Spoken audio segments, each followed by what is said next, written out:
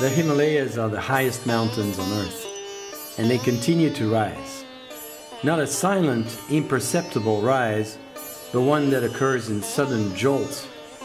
Giant earthquakes that violently lift the hills from the plain, thrusting up this majestic range on a fault called the main Himalayan thrust.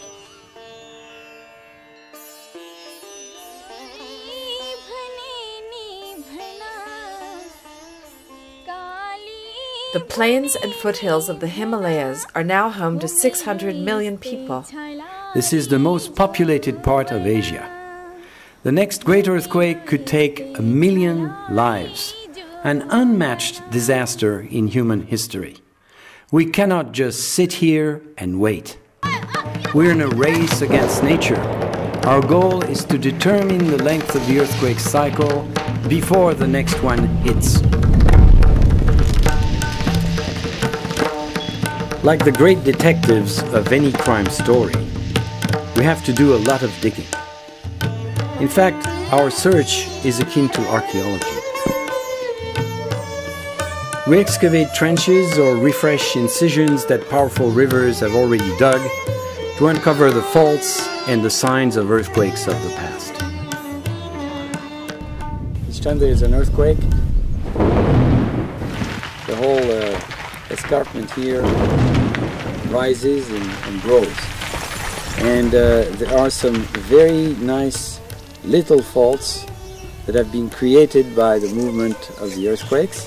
Charcoals that you find in, in the ground uh, may be older than the time at which they became, you know, sequestered uh, in the ground.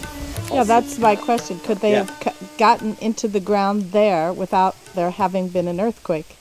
Uh, you see what I No, mean? no, they, they will be there course, without they- earthquake. It's not the charcoals Yeah. are not are not uh, related to the earthquake, Earthquake, yeah. but they allow us to date the earthquake. The charcoals themselves may be older than the sediments in which they are.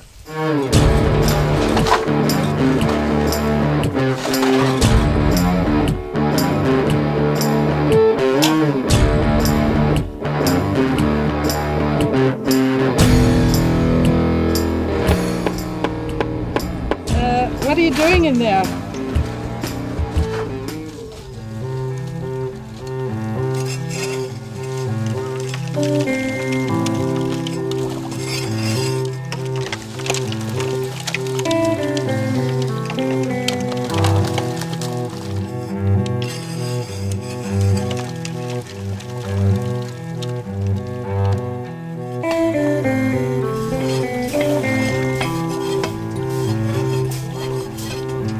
A giant is sleeping, but for how long? Join us as we sift for clues of the seismic cycles of the past, in the hope of leading millions out of harm's way.